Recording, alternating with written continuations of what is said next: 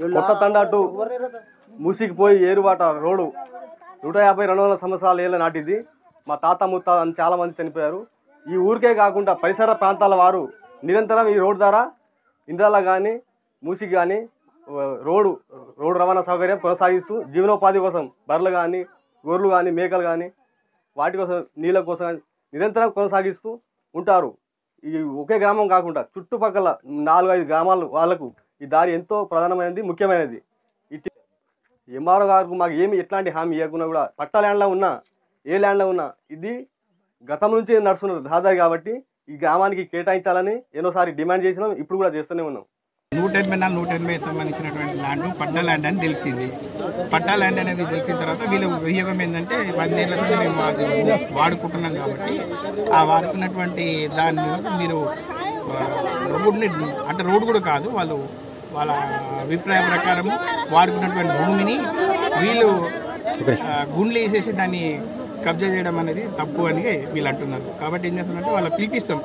ఎవరైతే ఉన్నారో ఎన్ని రోజులు పడుతుండొచ్చు అండి? ఆ పట్టదాన్ని పిలిపిస్తాం. ఈరోజే కాల్ చేస్తున్నాను. ఓకే. పిలిపించేసి వాళ్ళకి డిమార్షన్ పెట్టుకోమని చెప్తాం.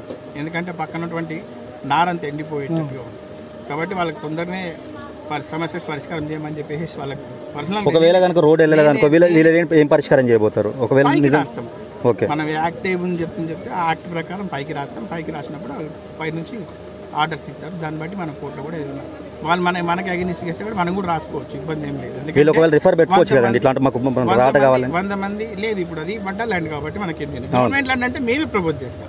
పక్కన గవర్నమెంట్ ల్యాండ్ ఉంది కాబట్టి గవర్నమెంట్ గవర్నమెంట్ ల్యాండ్ అంటే ఇది ప్రజా అవసరాల గురించి అవసరం ఉంటుంది కాబట్టి దీన్ని మనం యూజ్ చేసుకోవచ్చు. ఇబ్బంది ఏం లేదు గవర్నమెంట్కి రాస్తారు కలెక్టర్ గారు రాస్తారు కలెక్టర్ గారు పైకి రాస్తారు. వాళ్ళు అంటున్నారు అది ఏంటంటే వంద సంవత్సరాల వంద సంవత్సరాల నుంచి దున్నుకుంటున్నారు కాబట్టి రైతులు మాట్లాడతాను అంటున్నారు.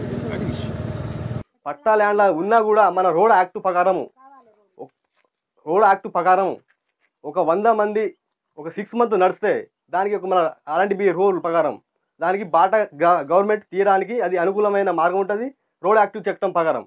కనుక ఈ రోడ్ కొనసాగించాలని ఎంఆర్ గారు కూడా మేము వినియోగించుకుంటున్నాం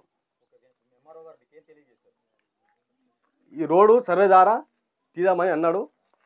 ఎంఆర్ గారు ఏ ఏ విధంగా వచ్చినా కూడా ఈ యాక్ట్ ప్రకారం రోడ్ కావాల్సిందే మాకు.